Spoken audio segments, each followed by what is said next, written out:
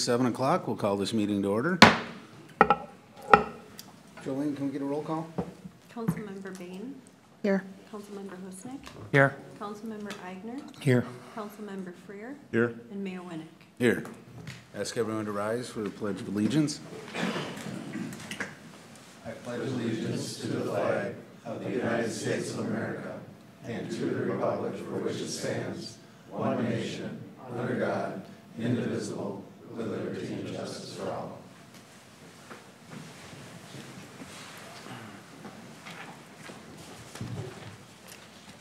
All right, I'll look for an approval of the agenda. So moved. We have a motion. Do we have a second? Second. All right. All those in favor? Aye. All right, agenda is approved. Next, we have open forum.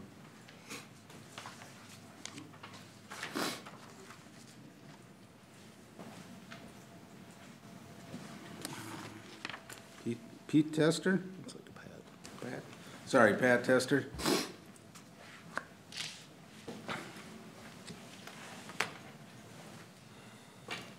This is where I'm supposed to go?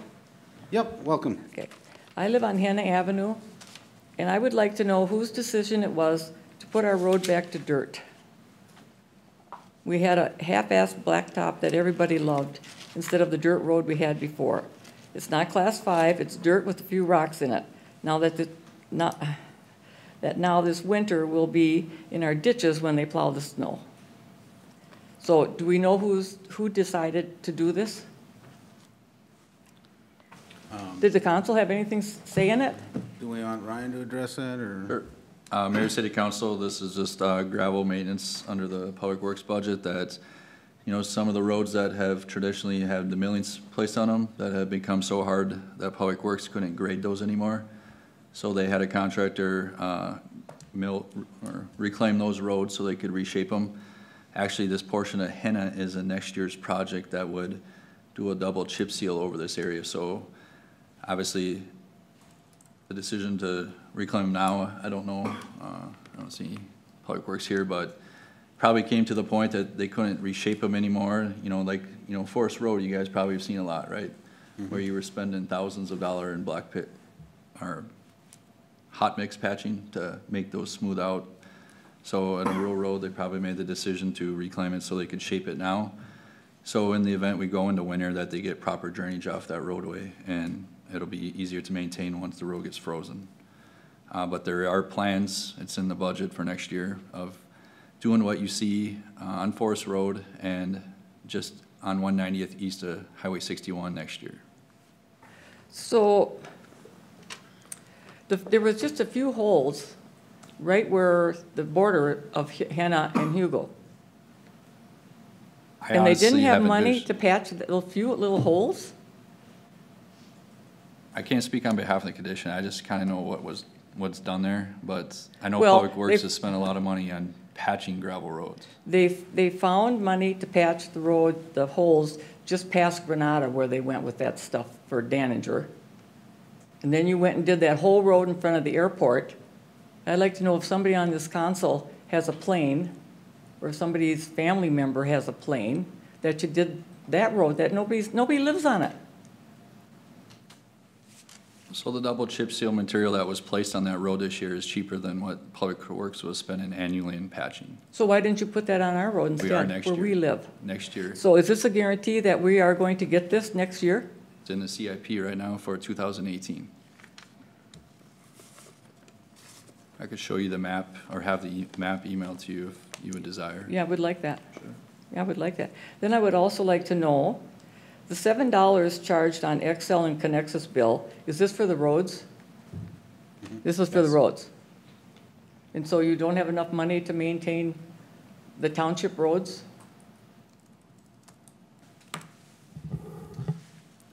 I actually think the city council made a significant investment in gravel roads last year, and you'll see that can be continued on what you'll have in front of your place next year. They're also in the uh, ongoing process of further discussing how they're going to deal with the thirty miles approximately that the city has, and we've had a lot of conversation with those at the workshop, especially the last six months. Uh, We've suggested a number of different alternatives on how they could potentially fund a program They're also discussing how that would affect their assessment program and moving forward so they could get more gravel roads dealt with. So right now, there's actually been a, a lot of ongoing energy and effort being put into how to address the rural roads. Uh, Can we at least get a speed limit sign on our road? It's like a freeway. State statute, gravel roads in rural areas are fifty-five miles an hour. Can I put my own sign up there that says deaf child area, uh, blind child area? Maybe people slow down? If you- I would uh, encourage you just to work with Public Works, 'cause I don't know, I don't know what ditch maintenance is done in those areas. I, I don't know. I mean, I'm sure it's the people speeding that complained about the holes, because I know nobody that lives on Hannah complained about those holes. Is it uh, a 'Cause certain time of We the have to day? use the road. Those people didn't. Is it a certain time of the day that speeding is a bigger problem? Because In we the, can- it, well, it's kind of all day, but mostly in the morning and, and in, coming back from work or going to school or whatever the hell they're doing, yeah. I'm sure the chief will take a note and get some extra Yeah. patrols out there. Yeah, I mean, they go so fast. You know, we got, uh, two people in wheelchairs that can't go out on the road now. I mean, I don't, but I mean the neighbors and, so. Okay, so who do I give my email address to? If you could just uh, submit that to the city, and I'll make sure they have the map tomorrow. Okay, all right, thank you. All right. Thank you for your concerns. And uh, Mr. Ashback.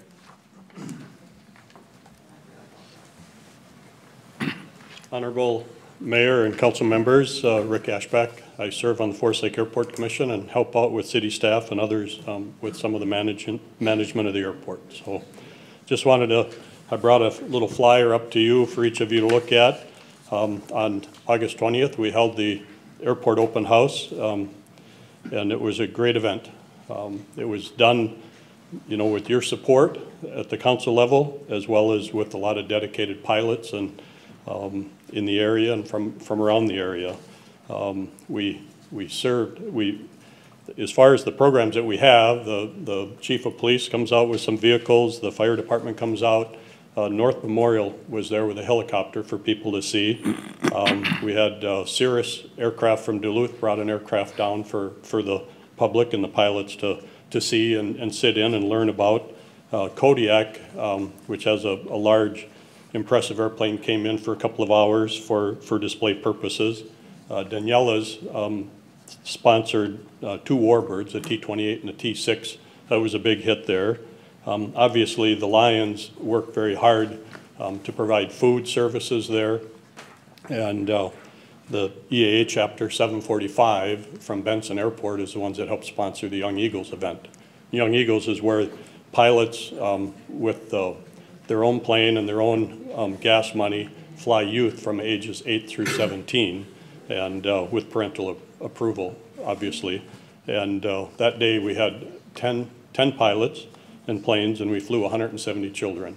Um, We quit taking uh, um, registrations at about 2:30, but we continued flying until 5 o'clock because there was a, a long lineup, so. The attendance um, was down compared to the, not last year because we didn't have one, but the year before. But from a sales perspective with the Lions and, and with Daniela's, um, sales were about the same. And of course, the, the number of kids we hauled was pretty much the same. So um, it was definitely uh, um, a place where, you know, we didn't get a lot of extra people there, but the ones that were there wanted their kids to fly and they wanted to enjoy the, the treats and the food and, and the activities there. So it, uh, it went off um, very, very well. And uh, um, we also had a, um, an individual arrive, uh, Mark Baker, who lives in White Bear, is the president of the Aircraft Owners and Pilots Association. And he flew in with his J3 Cub, which is kind of an interesting story because that Cub was owned by the family that owned the property that my mom and dad bought in 1960, but it was also sold to Jerry, who owned the, it was also sold um, by Shorty DePani, who built the airport in Forest Lake. So the president of the Aircraft Owners and Pilots Association uh, um, thought it'd be fun to fly it into the airport that originated life at, and he's completely restored it, and, and he was also very pleased with the improvements that were made and, and the support that the, uh, the airport has from the community. So he had a great time there as well. So we had, uh, on the handout that uh, was produced by one of the volunteers, you'll notice that just under $2,000 in fuel cost was, was purchased by volunteer pilots for the Young Eagle rides. um, uh, Tim Dahlbeck uh, um, paid for the tent rental instead of putting it onto the city. Daniela's, as we said, sponsored the Air Force planes and uh, um, talked about 10 volunteer pilots and 70 volunteer um, hours for event planning and, and, uh, and, and the, the event itself, and about 60 volunteer flying hours from, from the 10 pilots. But it was a terrific day. Um, Ben, I, Mayor, I believe you were there. I just didn't get a chance to talk to you. I seen you working hard out there. Yeah, So, so, yeah, we, I was there with, uh, part of my family, we had a great time, and, uh, you know, um, great interaction between the volunteers and the people in, um, just attending it, and, you know, perfect weather, it was yeah, it a was, nice event. it was all, thank you. It all, all went very well. So I wanted to make sure that uh, all of you had a chance to, to learn about it. So thank you very much. and Thank We look forward to next year. Thank you. All right. And that finishes up open forum, so let's move on to uh, consent agenda. And I'll look for approval of the consent agenda or changes thereto.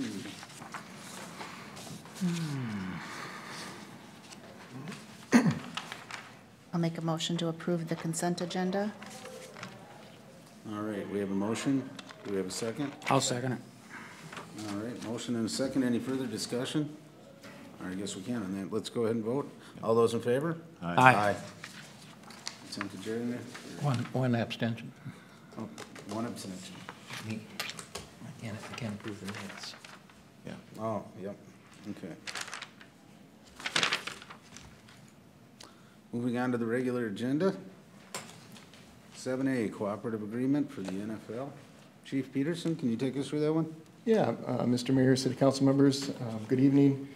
What I have for you today is a cooperative agreement that we we received from the City of Minneapolis um, in cooperation with Minneapolis Police Department, St. Paul Police Department, and Bloomington Police Department. They are requesting uh, agencies, uh, police departments, um, to assist with the 2018 uh, Super Bowl that's going to be hosted at the US Bank Stadium in February of 2018. And there are many events that are going to take place between January 26th and February 5th that they uh, know they're going to need some, um, quite a bit of assistance from uh, fellow police officers from other jurisdictions.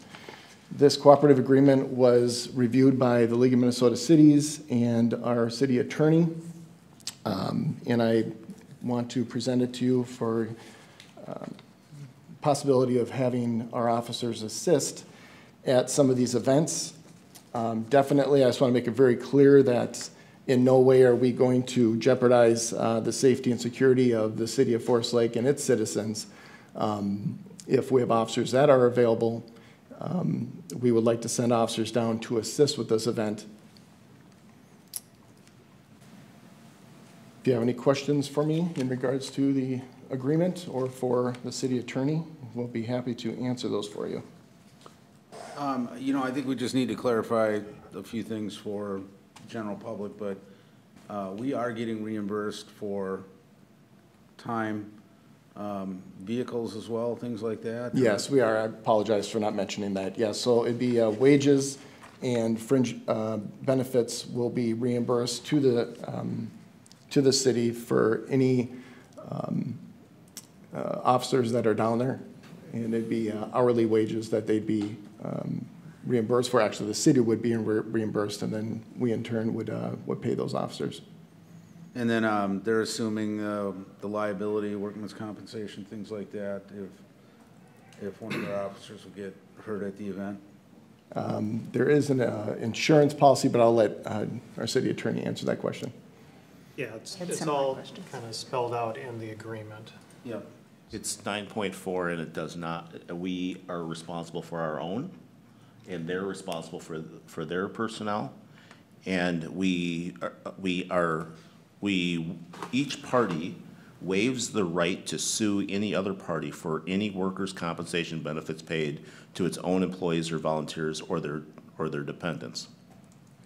And that's, Mr. Mayor and council member, that's the way the league likes our kind of uh, joint powers cooperative agreements to be set up because they're insuring and kind of defending all our workers' comp claims for all the different cities. I don't want to continue on the workers' comp. I have a different type of question, but So, um, curious, um, I'm assuming they're gonna have something similar to this with the state patrol? And if they are, um, I'd like to see what that language says, based on what the state of Minnesota does when they, um, look at work comp from one agency to another. Um, You know, this isn't a reason to say no to it, but it's, it's unusual for them not to, for them to put in there that we can't sue. Um, I can understand covering our own work comp, but we should be able to at least go after a recovery of our costs um, if something catastrophic were to happen. And, you know, and, you know, we're all covered by the league supposedly, but ultimately, we should be able to get our costs back. Mr. Mayor and council members, I mean, obviously you don't have to enter into this agreement. The, the terms are kind of the general format that the league has come up for all the cities, but uh, we can always go back and try to get some different terms. so, I think you were just asking for what the state asking patrol is doing. Yeah. so my question was around um, also liability terms. um, And one of the questions was, what was the position of the league? And also you as our city attorney, had you reviewed? And you've already answered those questions. Um, I was a little surprised, so there's an event policy that is, has a $3 million cap on it, is that correct? And it just struck me as, given the size of the event and what we've seen recently, that that's a rather low cap. So then you- I asked myself, well, what happens if an event happens and you blow through that? Do we have our existing policies in effect covered by the league, or are we doing anything that's going to jeopardize what might take the place after you've bl- potentially blown through a $3 million cap? Um, Mr. Mayor and council members, the $3 million cap, I mean, that's one insurance policy, would probably be the first insurance policy they go after. If somehow they can claim that they could go after our insurance, the city is generally liable by state statute, and in our uh, packet, I think we, we did not waive our tort liability limits, but we can only be found liable up to $1.5 million, and I think it's maybe up to two if it's hazardous property. But otherwise, if the city was found liable for $10 million, we could, we can only pay out 1.5 million, and then we buy insurance up to that amount. Uh, That's my question. We're not doing anything in this agreement that jeopardizes that second place insurance up to our statutory obligation. No, that's always there. Okay. I mean, that's why, Mr. Mayor and Council, you always ask me if I'm worried about liability. I mean, we, by state law, we cannot be held liable above 1.5 million, and then we always have insurance up until that level. Correct. Okay. So do we want to uh, just table this till next meeting, till we get some more answers? Oh, Go ahead, Ed. Is this for the entire week of the Super Bowl, or is it just Super Bowl? Yes.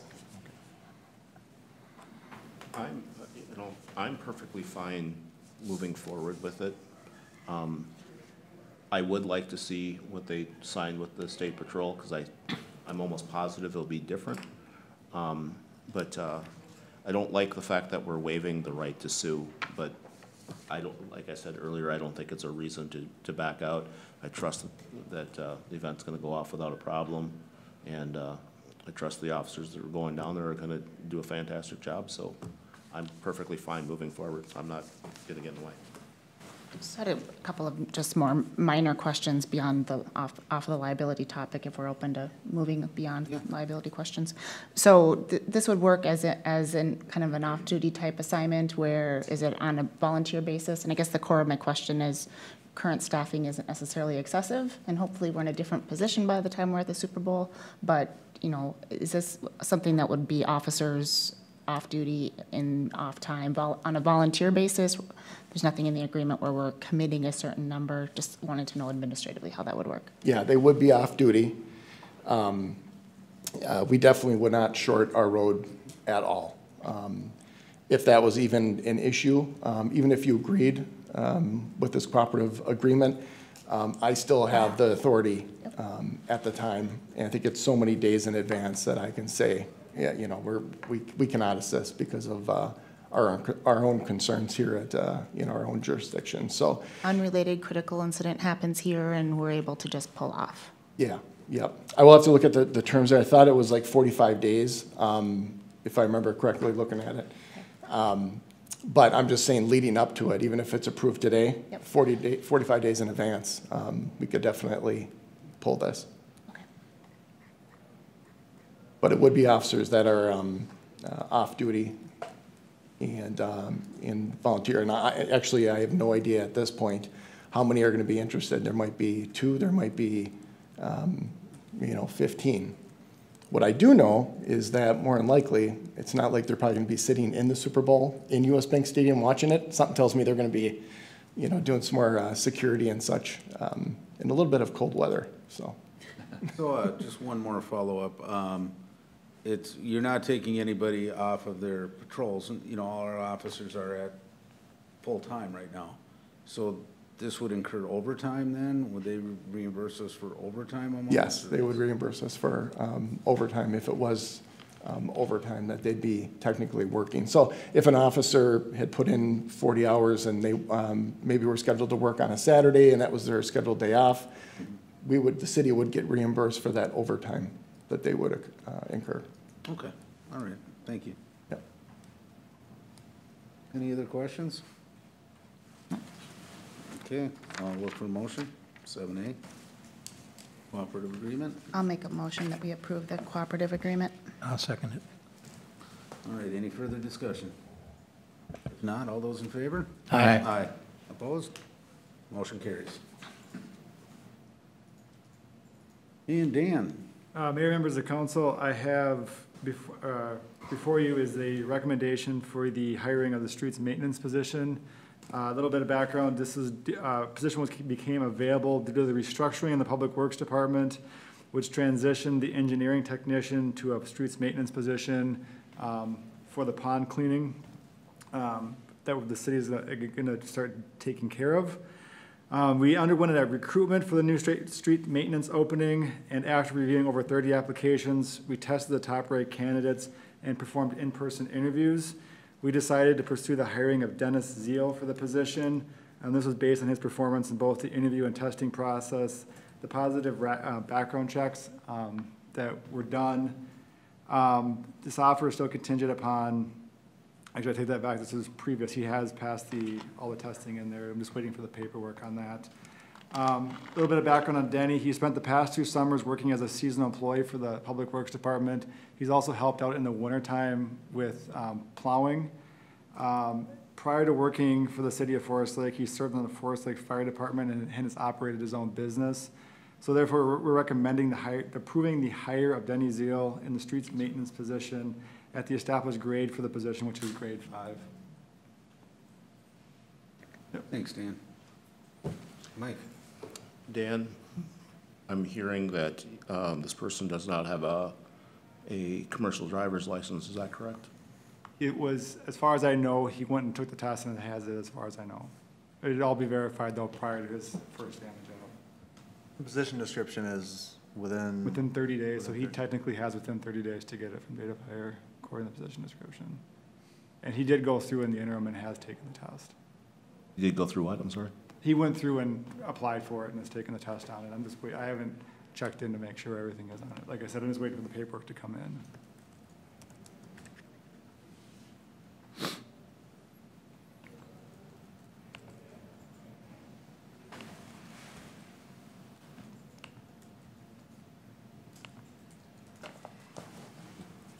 We can't. Is this, um, so this is already in the budget right now, or is this a new position? Is, I mean, next year's budget, or it's in the budget now? Yeah, it's in the budget. This is the replacement for um, this uh, stormwater, the, the money that was in the stormwater, seventy percent stormwater, thirty percent general fund, if I remember correctly. Water and sewer. Water and sewer, that's right. So now it's, is it gonna still be the same breakdown, or are we going general fund out of this, or Well, I- public works, I mean? That's a discussion for next year's budget, but for this year's budget, it was uh, budgeted in the surface water management fund predominantly.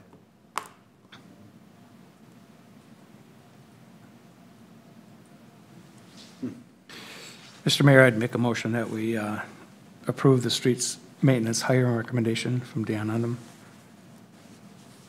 All right, I'll second. motion and a second. Any further, oh, go ahead, Mike. Mr. Mayor, I've never, ever voted against a hire. Um, And this will be uh, actually the first time because um, I can't believe that we're hiring somebody who's just getting their commercial driver's license.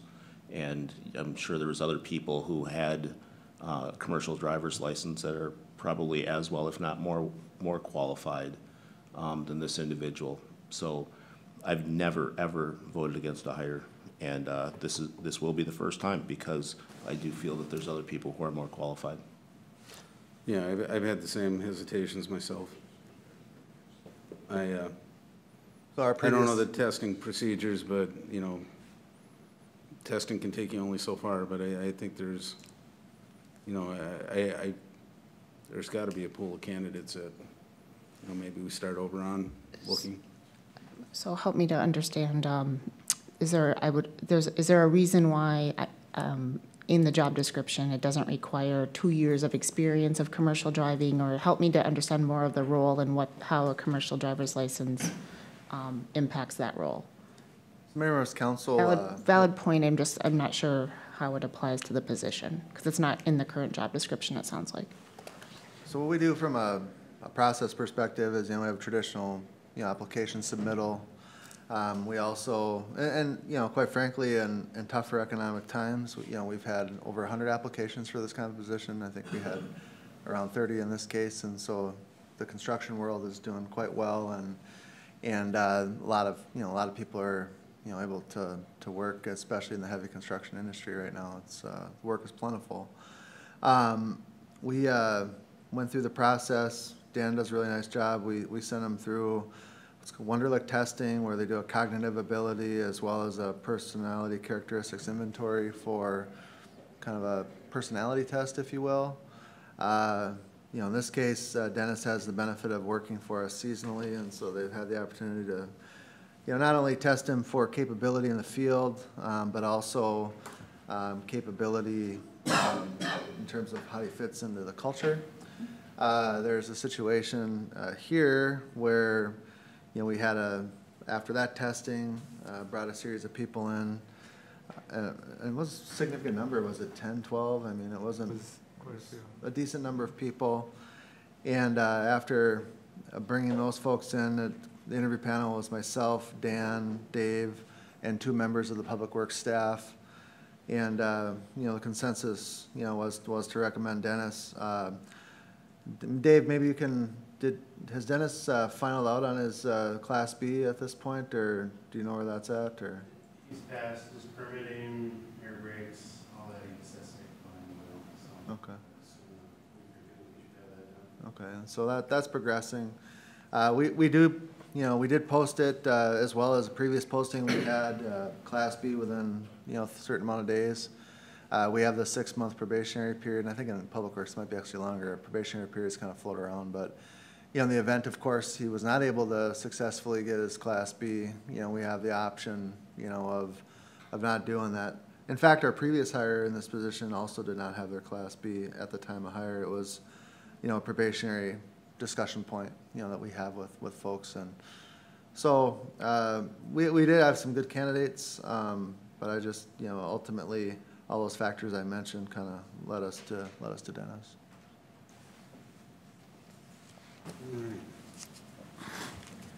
Any other discussion on this one? I just want to clarify one point as far as the budget's concerned. This position opened up because someone else was moved to a different position? Members Council, uh, last year's budget conversation, we uh, discussed in the Surface Water Management Fund uh, during the budget process, Mark Peterson, who had been a senior engineering technician, uh, resigned, and uh, we then evaluated what we were going to do to fill that position. And the thought process at that time was that we felt like it would be better to contract some of those technical services that we had been getting out of the position uh, with MS4 permitting and compliance and grading permitting and things like that. And so we established some funding within the Surface Water Management Fund for that, uh, for contract services, but thought it would be better um, to bring a public works position on that could focus on stormwater management, um, more aggressive street sweeping, more aggressive um, pumping of sumps, uh, pond maintenance that we can do in-house. Some of it you have to contract, but any of those surface water management activities, and we just kind of feel like we're gonna get a better return on water quality with that, with a maintenance-oriented approach versus, uh, you know, some of the other things that we were working on. And so it was budgeted, um, and we just have taken some time uh, with, uh, you know, with- with getting to the recruitment phase of things. Um, I also would say the ancillary benefit to this uh, maintenance-focused position is that all of our team members in Public Works do snowplow. And as we add road mileage and, you know, other maintenance obligations, pedestrian bridges, trails, you name it, more ponds, more, you know, catch basins, whatever, lift stations.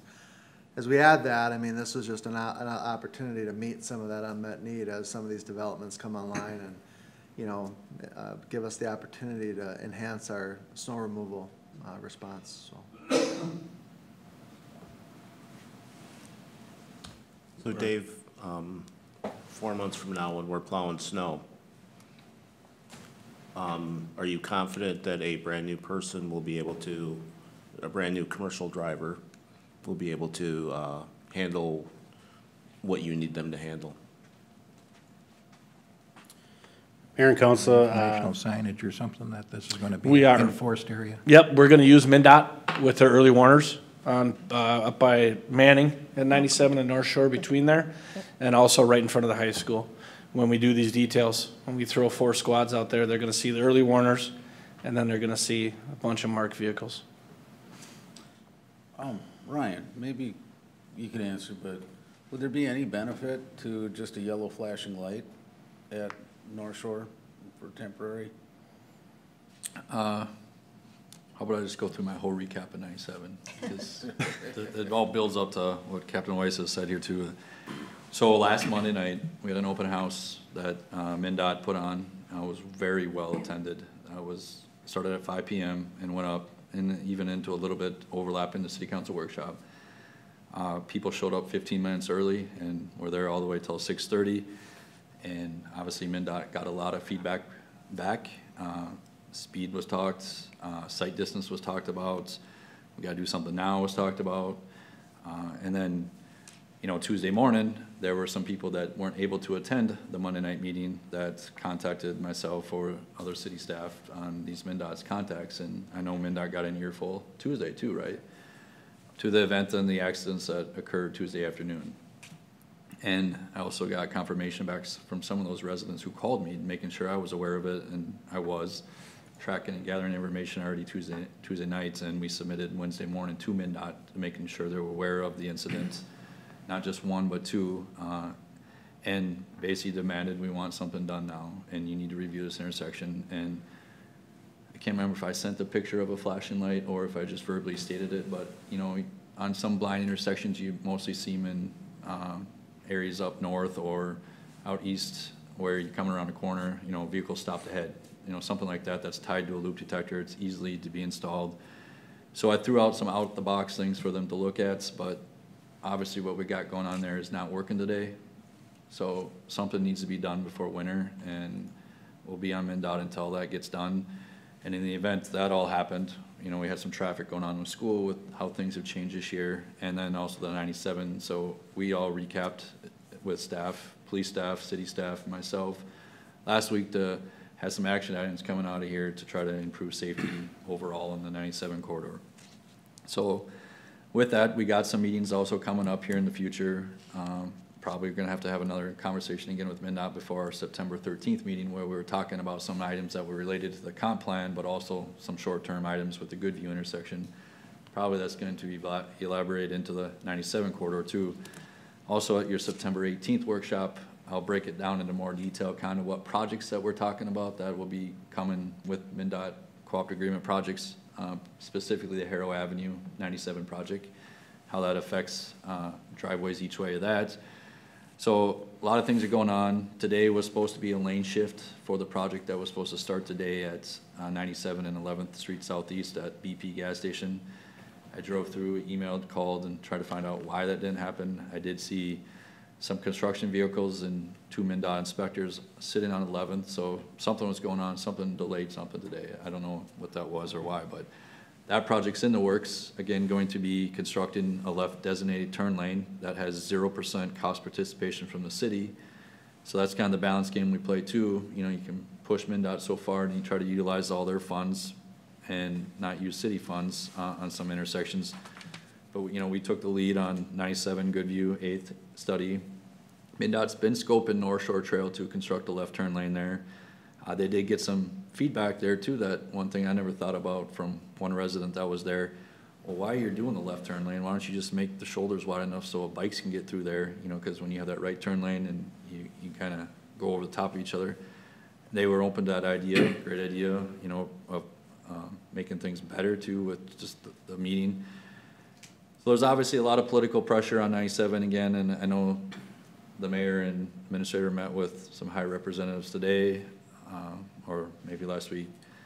But, you know, we just gotta keep pushing, you know, cause there's a lot of other places in the state that are fighting for the same dollars we are. We're just trying to build our story and, uh, gather information that makes us competitive for those highway safety funds. Uh, maybe some future legislation bill is directed this way too, but, uh, we're in the middle of a Highway ninety-seven access management study with MnDOT too that they're funding.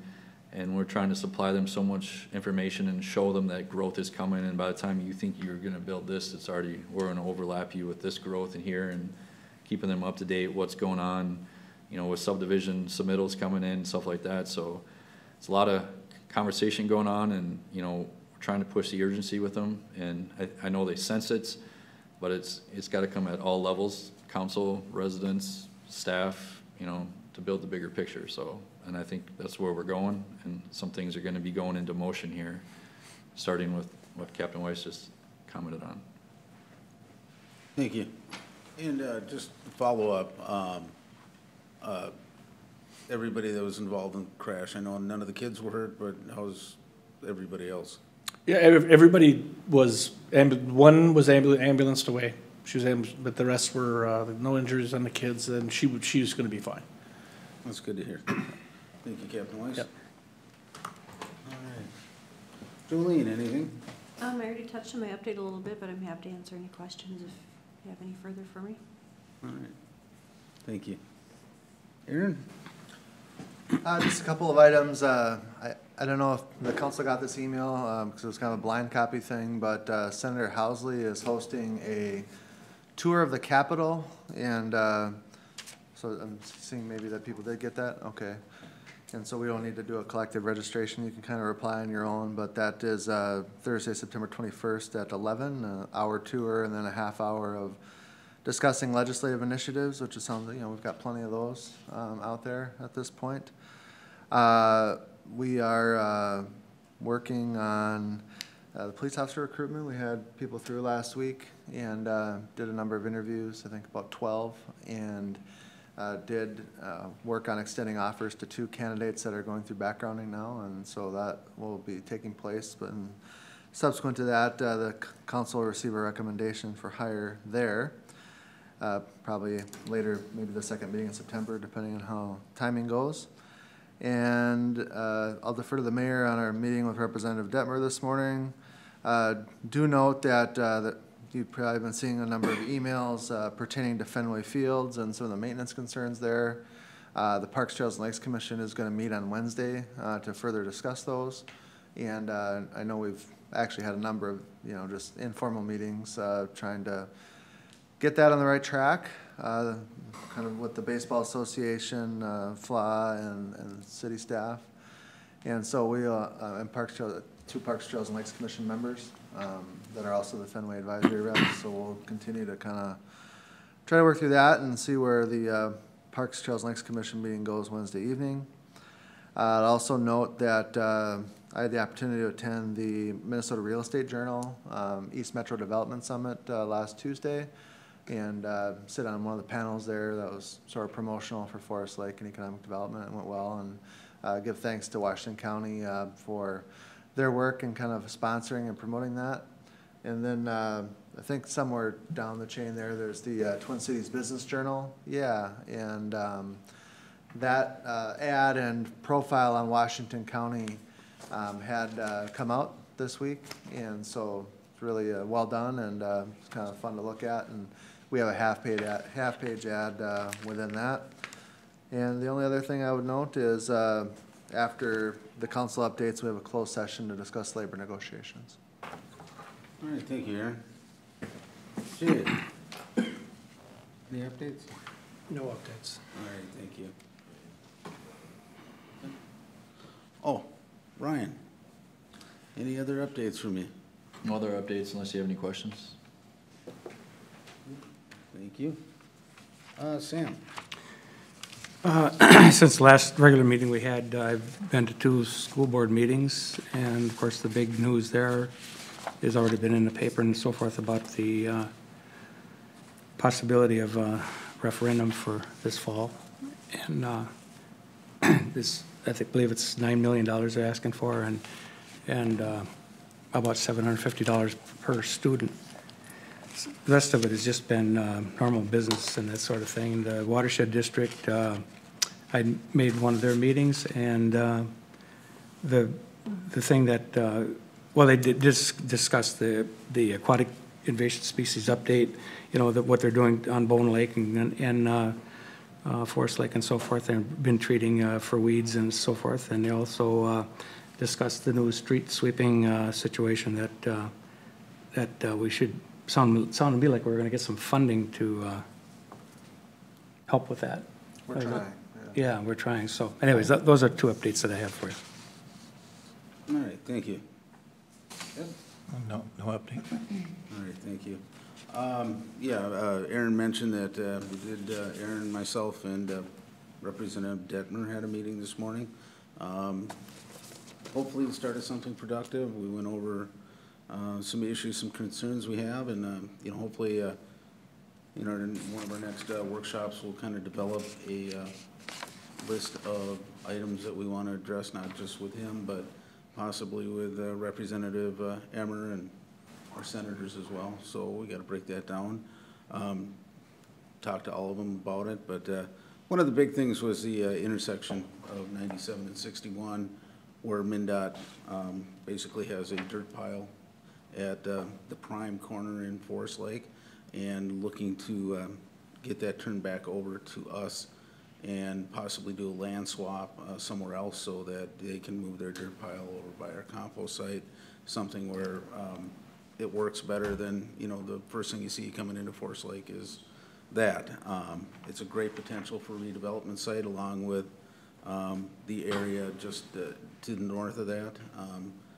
Obviously, there's some challenges with access, but that can be overcome, but between the visibility and uh, uh, commercial potential, I think um, we really need to push MnDOT and um, push our legislators to, you know, get a bill, get something through to get that turned back over to us.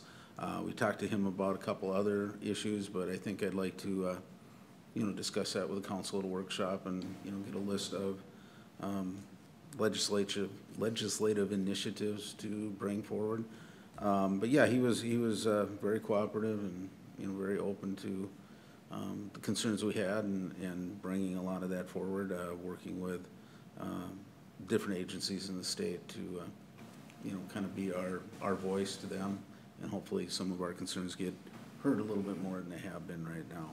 Uh, Beyond that, uh, we got the senior center uh, volunteer luncheon coming up this week. I'll be attending that and giving them an update on some of the things that are happening around Forest Lake as well.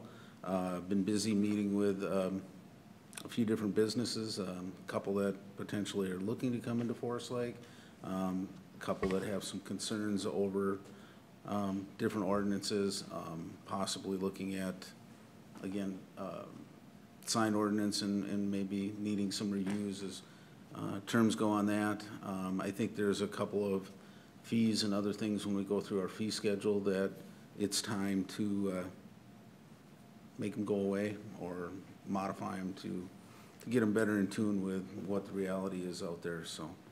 um, Pass it along to you, Mike. Um, I'm hoping at some point in time that we're gonna have, um, more discussion on, uh, the airport issue with the funding from, um, reimbursement, I should say, from, uh, MnDOT. I'm hoping that's gonna be in a closed session. Um, There's an issue, um, with the 190th project that, uh, uh, Planning Commission, um, met last Wednesday. Um, and that project, uh, evidently, uh, got tabled.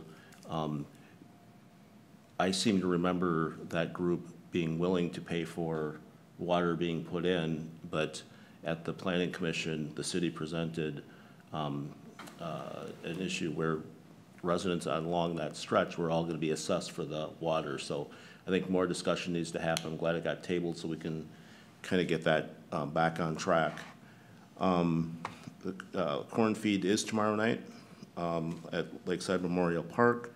And then Aaron mentioned the issue at Fenway, and then the Parks, Trails, and Lakes Commission meets, uh, tomorrow. That's it. Tomorrow or Wednesday? I'm sorry, Wednesday.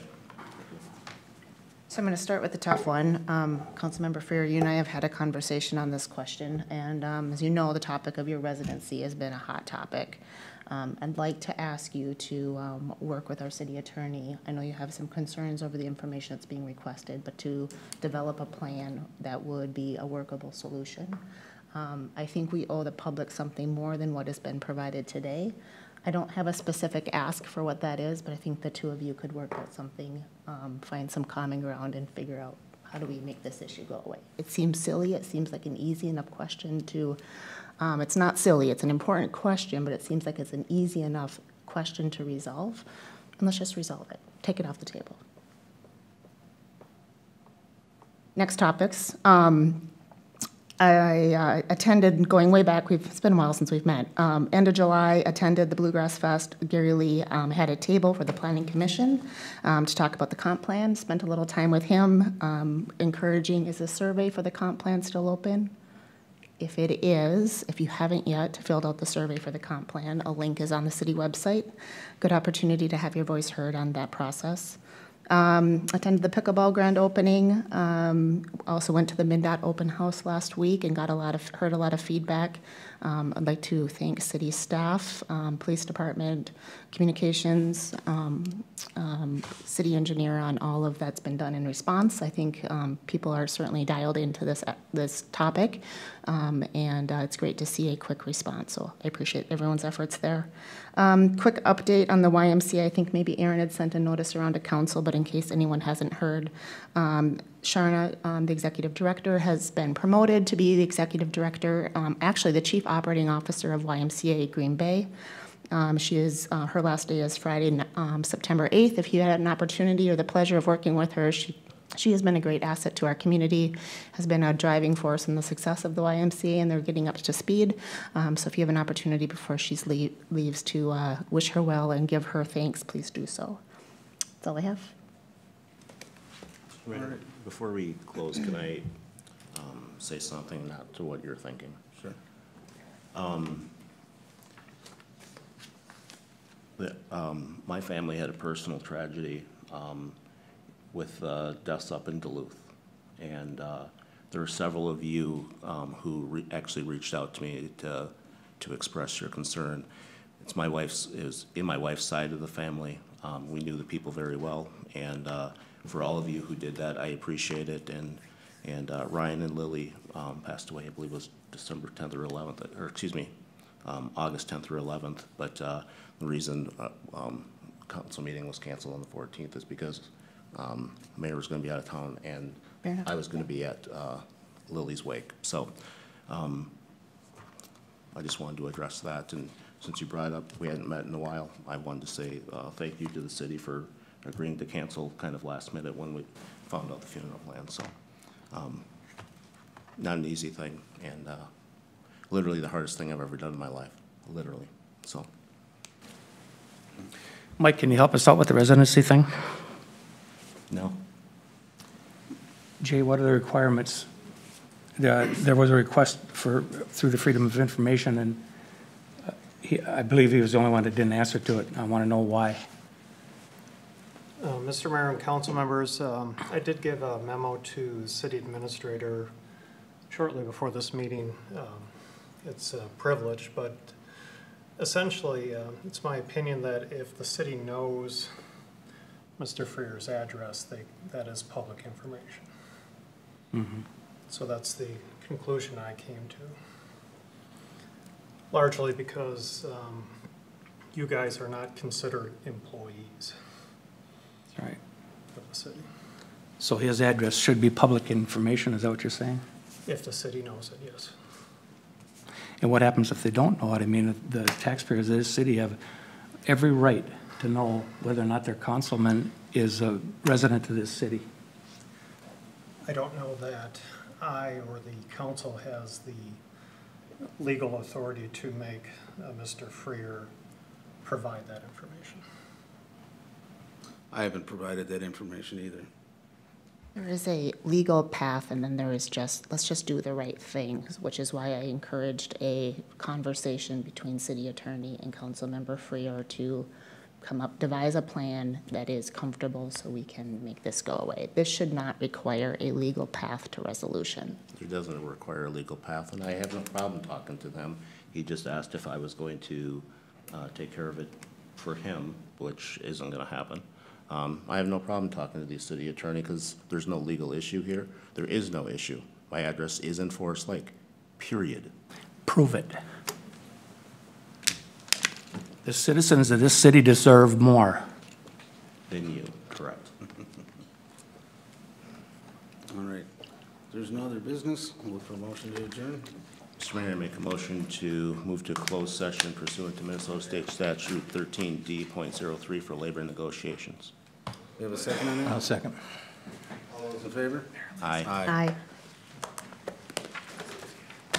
This ain't over, boys.